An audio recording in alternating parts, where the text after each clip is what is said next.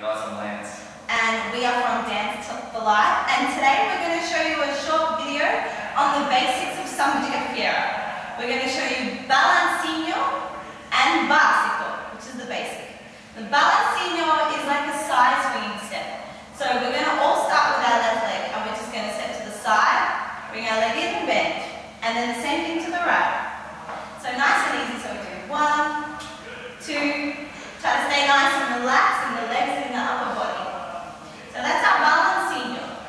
So now if we do this facing our partner, the guys are going to start with their left leg. Ladies are going to start with their right leg. We're going to do eight balancinhos. We do one, two, three, four, five, six, seven, eight. From here, we're going to start our basic step. So the guys are going to start with their left leg. The girls are going to start with their right leg. We're going to take two steps on the spot. One, two. Now the guys are going to step back girls are going to step forward with their right arm free.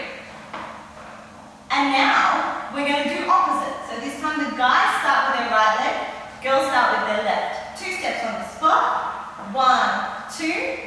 Girls stepping back with the left, boys stepping forward with the right. On three. So this is what it looks like if we do it a little bit faster. We do. One, two, three. One, two, three. One, two, three. One, two,